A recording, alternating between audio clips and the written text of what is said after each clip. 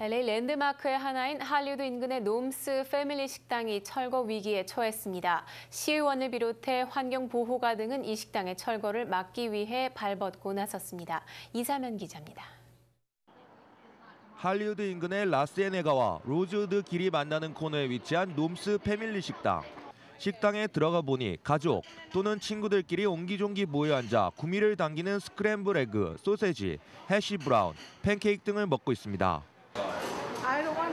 Don't demolish this place because Normus has been there for a long time. The food is excellent and the prices is even greater. This place is very accessible and nice neighborhood, and you should keep this place for. 하지만 식당 밖에서는 놈스 패밀리 식당을 철거를 막기 위해 시위가 벌어지고 있습니다.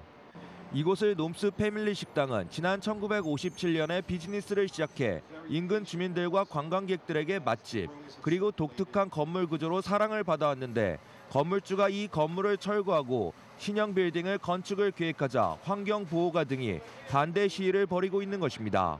This really is a building that captures that spirit and enthusiasm of what post-war Los Angeles is. And what's great about it is that it's still actively used. 놈스 식당을 건물주는 지난 12월에 건물 철거 신청서를 제출해 올해 1월에 철거 펄밋을 받았는데 인근 주민들과 보호단체들은 LA의 조형 건물로 꼽히는 이 건물을 LA에서 없어지면 안 된다면서 주민들로부터 온라인으로 탄원서 참여를 당부했습니다. 폴 코레즈 오지그 시의원은 자신이 어렸을 때부터 가족과 함께 이 식당을 찾아 추억이 깊은 장소인 동시에 LA의 역사적인 건물이라며 철거를 적극 반대하고 나섰습니다. Uh, there's so many people that this means so much to. Uh, architecturally, seeing this great building and smiling.